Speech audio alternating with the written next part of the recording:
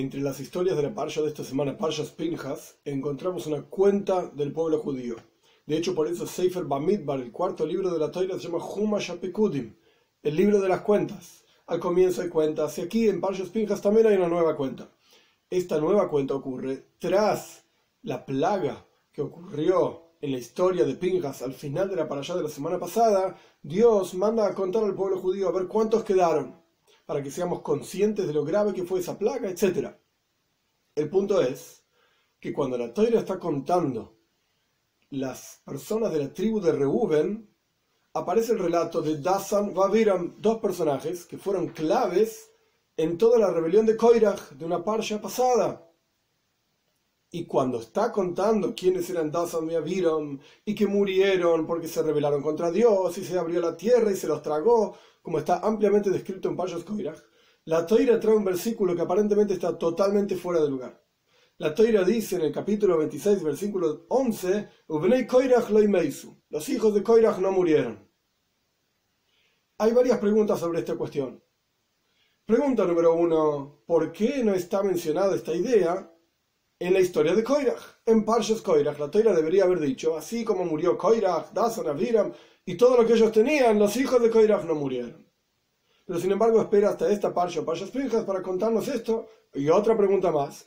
¿Por qué nos cuenta esto la Toira en medio de la cuenta, del censo de la tribu de Reuben, cuando en realidad, más adelante, en la misma parsha, en parshas Pinjas, van a ser contados los Levim, y aparece la familia de Koirach, Mishpachas Korji, dice la Toira, la familia de Koirach con todos sus descendientes, etc. Y en la práctica los descendientes de Koirach fueron tan especiales que hasta compusieron Tehilim, salmos, los cantamos y los decimos hasta el día de hoy. Shmuel, la novia y profeta Shmuel, los descendientes de Koirach, que dice que fueron gente extremadamente importante.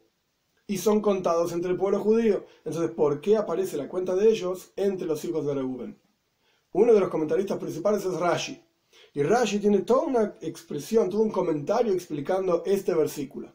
Pero tenemos que entender a Rashi mismo. Rashi dice, ¿qué significa que los hijos de Koirach no murieron? Ellos estuvieron junto con el consejo de la rebelión primero. Junto a Koirach, Dazen, Aviram estaban ahí a la cabeza, por así decir, de toda esta rebelión. Y en el momento de toda la rebelión, ellos tuvieron un Hirur Tshuva Belibam, así dice Rashi, una imaginación, un pensamiento de arrepentimiento en sus corazones. En la práctica no dijeron nada, en la práctica continuaron con la rebelión, pero en sus corazones tuvieron un pensamiento de no vaya a ser que esto está mal, quizás no corresponde, quizás Moishe Rabbeinu es emes, es real, es verdad todo lo que él dijo y hizo, etc. Por lo tanto, por cuanto tuvieron este pensamiento en sus corazones, Rashi explica, se preparó para ellos un lugar alto, elevado, en el Gehinom, en el purgatorio, y se sentaron ahí. Esto es lo que dice Rashi. ¿Qué quiere decir Rashi? ¿Por qué es que justamente los hijos de Koirach tuvieron un castigo tan extraño? Si eran parte de la rebelión, y más aún, si eran parte de la cabeza y el pensamiento, toda la logística de la rebelión, entonces tendrían que haber tenido el mismo castigo que tuvieron los demás, Koirach, Dasan, Aviram y todas sus familias. Y si en la práctica hicieron chuva, si, se arrepintieron, entonces ¿por qué fueron castigados? ¿Por qué se los tragó la tierra? Y la idea es la siguiente. Punto número uno, por cuanto ellos fueron parte central de la rebelión, entonces ellos merecían un castigo.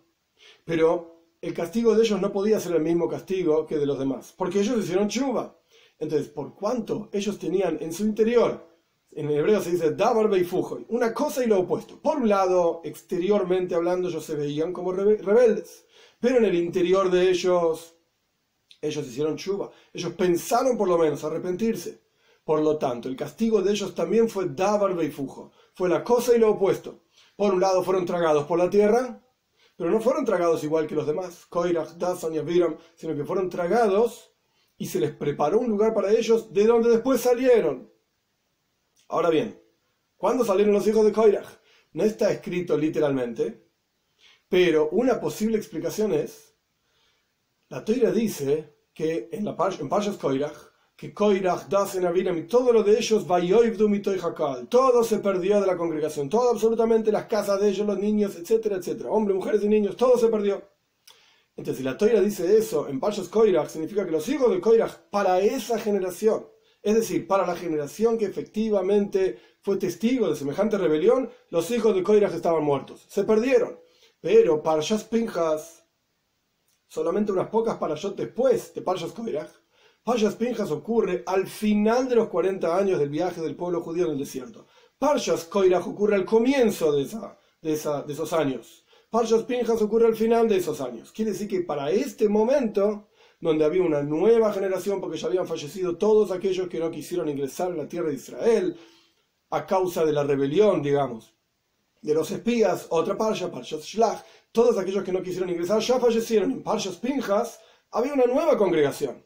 Entonces los hijos de Koirach frente a esta nueva congregación existían. Si bien frente a la congregación de, la, de Parshas Koirach digamos,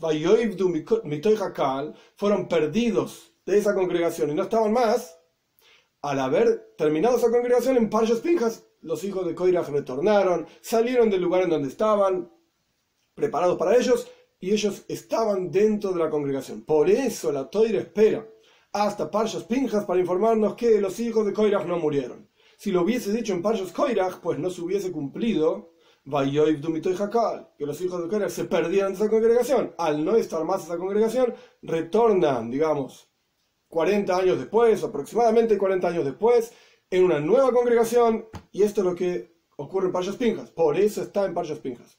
Ahora bien, ya entendimos el castigo de los hijos de Korah.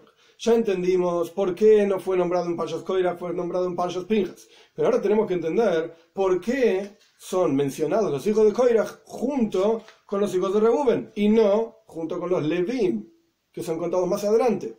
Y la idea es que por cuanto, como dice Rashi, por cuanto ellos fueron a Eitzabat estaban al comienzo del consejo de la rebelión, ellos estaban igual, al mismo nivel que Dasan y Abiram, que eran hijos de Reuben. Y la Torah no quiere mencionar, Dasan y Abiram murieron porque se los tragó la tierra. Más adelante, cuando están contando los Levim, a los Levim y Koirach también se los tragó la tierra, pero los hijos de Koirach no murieron. Entonces, cuando ya fue mencionada esta cuestión, al hablar de los hijos de Reuben, se menciona también que los hijos de Koirach no murieron. Y en la práctica, el Orahaim tiene un comentario interesante, Jaime Benatar, que dice que en realidad la Torah viene a decirnos que los hijos de Koirach fue menos grave la rebelión en, lo que ellos hicieron que lo que hicieron Dasan y Abiram. Por eso están mencionados, digamos, uno al lado del otro, diciéndonos, si bien a Dasan y Abiram se los tragó la tierra, los hijos de Koirach no fue tan terrible. Y con esto entendemos los tres detalles que trae Rashi. Punto número uno, estuvieron en el comienzo de la rebelión.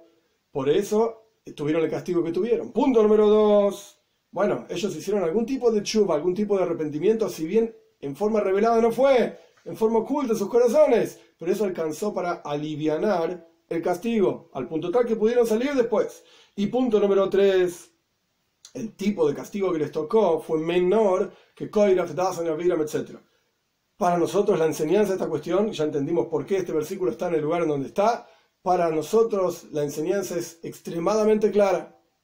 Incluso una persona que fue rebelde contra Moisés Rabbeinu, por el hecho solo de haber pensado en sus corazones, por eso Rashi es preciso, Shuva Belibam, ellos pensaron en hacer chuva en sus corazones, esto ya aliviana el castigo que tienen.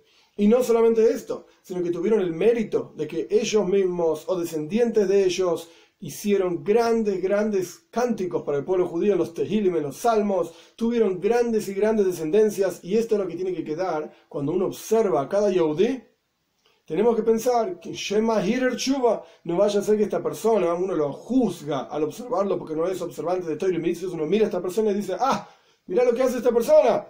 Shema Hirer Chuba Beliboy. Quizás en su corazón sí, efectivamente, hizo chuva, arrepentimiento, tuvo un pensamiento de hacer arrepentimiento y quién sabe si de esa persona van a salir grandes gigantes para la historia del pueblo judío, entonces nosotros tenemos que observar a cada uno de los Yehudim como que hicieron chuva, como que hicieron arrepentimiento, y más aún, el Rambam dice, Maimonides trae que al fin y al cabo, al final del exilio del pueblo judío, vamos a hacer chuva, todos vamos a hacer chuva, humillado en Galina, inmediatamente seremos redimidos, entonces con, por lo menos con un pensamiento de chuva en el corazón, a pesar de que por afuera no parezca así, con un pensamiento de chuva en el corazón, con seguridad esto va a hacer que venga Moshiach rápido en nuestros días.